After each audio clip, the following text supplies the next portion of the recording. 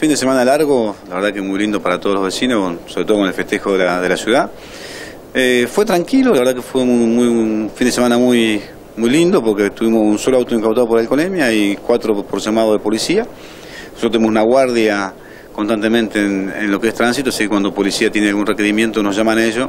y actuamos en lo que es el, incautamiento. Por lo que la parte legal lo maneja todo el policía. Así que hemos tenido un saldo eh, lindo, o sea, al, ser tan poco, tampoco es lo mejor que nos puede pasar, ¿no? Por la idea es que vayan concientizándonos y poder eh, no tener que incautar ninguno, que la idea no, no es incautar, sino la idea es que prevenir y que la gente tome conciencia de que no hay que tomar alcohol y tener la combinación. Igual creemos que debe ser porque mucha gente se fue y nosotros estuvimos trabajando muchísimo, casi todos los días, entre distintos cortes, en los fines de semana preparando para el 12 de octubre, estuvimos corriendo los vehículos de la playa de toda la playa del medio de la Maipú entre Garramuño. Así que nos han visto constantemente eh, los vecinos y también creemos que algunos han estado eh, dándole un poco más de importancia a lo que es la conducción del vehículo y de la documentación, así que estamos contentos por, un fin de semana largo. Lamentablemente las desgracias tuvimos eh, en lo que es la ruta con una moto, que no, es exclusión nuestra, pero en lo que es la ciudad no hemos tenido que lamentar nada complicado en lo que es la cuestión de tránsito.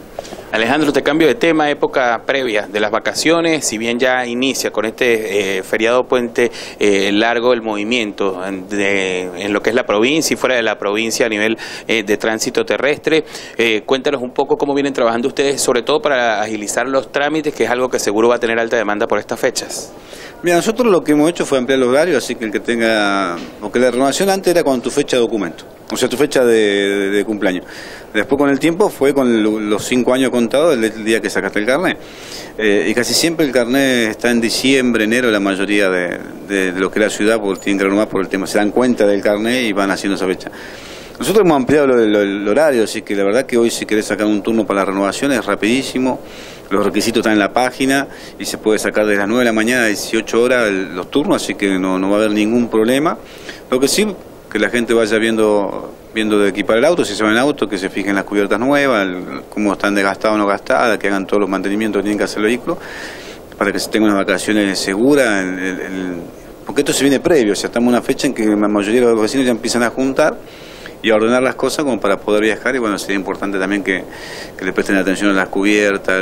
el, el auto, la documentación, así que, que vayan pensando en eso y que, que tengan unas vacaciones seguras dentro de poco. Y también con el hecho eh, de contar con esta agilidad en el trámite de lo que es renovación de licencia, exámenes, que este, pues obviamente ha aumentado el, servicio de ustedes para con el usuario con, con, el horario más ampliado, ¿no? Sí, hemos, lo, lo, que nos ha ayudado mucho fue, bueno, lo malo de la pandemia que sacar lo bueno, ¿no? Hemos podido aprender a utilizar mucho lo que, lo que es la tecnología, así que hoy con el turno web,